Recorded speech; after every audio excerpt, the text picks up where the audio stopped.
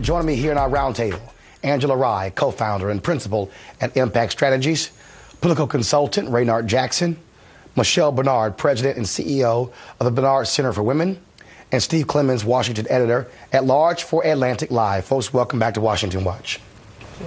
If there was one thing that's been bothering me this past week is watching uh, folks have the audacity to somehow suggest that the alleged Boston bombers, uh, the young man who uh, is in custody, somehow should be declared an enemy combatant, as if we have no history in this country of providing Miranda rights and actually trying domestic terrorists uh, according to our own U.S. Constitution. I don't understand how, even in this case, you should just somehow give up rights and just say they, they really don't mean anything just because of this terror attack in Boston. I think there's one thing in particular that you have to keep in mind, though, Roland, in dealing with such a delicate situation. Um, when he was originally apprehended, um, the questioning immediately began as soon as he came to consciousness. And one thing that's been talked about a lot in the press is the fact that um, the courts intervened um, when the FBI believed they were on the verge of hearing something from him um, under this public safety exception that exists for Miranda rights. Um, and the courts intervened and they, they stepped in and said, you know, it's time for us to Mirandize this this suspect. Um, so there's a very delicate balance um, that you have, and a very careful line you have to walk with protecting the homeland um, and with ensuring that with, folks with, have their with rights all due respect, I completely disagree, but in the in the nicest way. Sure. Uh, I don't believe this country, with people in this country, should ever withdraw rights from anyone. We saw after World War II or during World War II how this was done to Japanese Americans. You saw that's not what America's about. America's about showing its norms in the toughest time of times, not the best of times.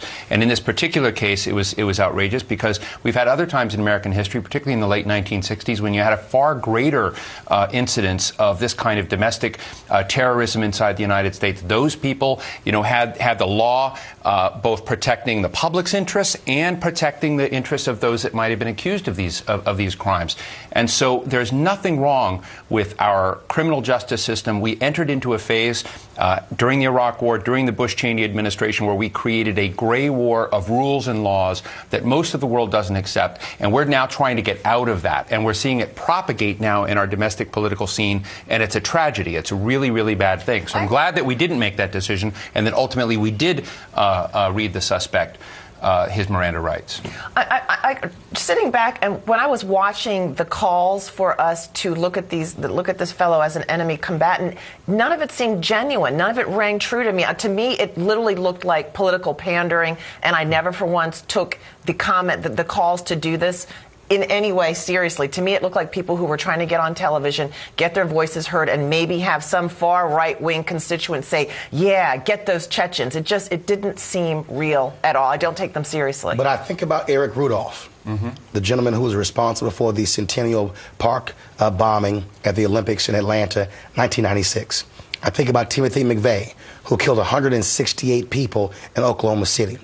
The, look, I totally get in terms of this whole notion of a war on terror. Mm-hmm. But the moment Americans stand here and say that our soldiers are fighting for our rights, fighting for our way of life, fighting for our Constitution, and then we turn around and somehow say, oh, let's throw the same Constitution out the window, that to me is absolutely uh, insanity. Yeah, I think, I think this is a very simple argument. He's an American citizen it happened on U.S. soil, so he's protected and he deserves his Miranda rights. Now, if he was an American citizen in a foreign country blowing up U.S. assets, to me, you can have a legitimate argument about this, but by him being an American citizen, it's not even an argument. But don't you have a question, though? Like, why is it the same people continue to forget all of the wrongs of the nation's history? After after Katrina, there were they had little prisons set up all over New Orleans before they were able to save anybody who needed water, and they were locking up people who looked like quote unquote Muslims or Arabs because they thought that they would use Hurricane, Hurricane Katrina as a way to bring to, uh, to terrorism to the United States. It was wrong, and we do it over and, and over all, and, and over again. again. It's wrong. I mean, that's the thing. It's always wrong.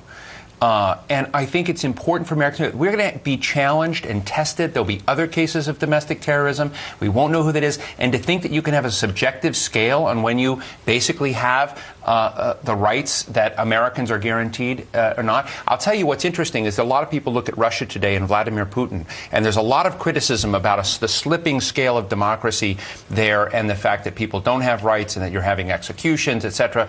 Uh, and and um, you know, in my view, it's very important for the United States to maintain its its its legal codes and, and to be the beacon on the hill so that we can criticize what's going on abroad. But if we do this kind of thing, you can't criticize Vladimir Putin in Russia. You can't you can't criticize thuggish regimes that, that throw out their constitutions. I definitely understand what everyone's saying, but the public safety exception is not indefinite. It applies for a specific amount of time. The court intervened because they thought that amount of time had passed. I think it is so important for us not to treat the Constitution like a strict black and white document. It is a living, breathing document, and it evolves based on certain principles. That's why I went to law school. There are all types of exceptions to the law, and you have to definitely deal with them very carefully. You can't just say, this is the way that we are going to apply this. This is the blanket rule. You just never know. And I think it's really dangerous for us to live in absolutes. Well, look, I, I agree living in absolutes. But I think what really what really concerns me, uh, to Steve's point, is is when you when you start going down that road. No question. All of a sudden, you have people who are trying to apply an enemy combatant to virtually anything. Right. I mean, if that's the case, let's just go ahead and ship the guy to Guantanamo uh, without even charging him. And I think to Raynard's point, when it happens on U.S. soil, and like it or not, this is an American citizen. You know, so it's not like this is a, somebody who came uh, from another country. Uh, he's, you know, here.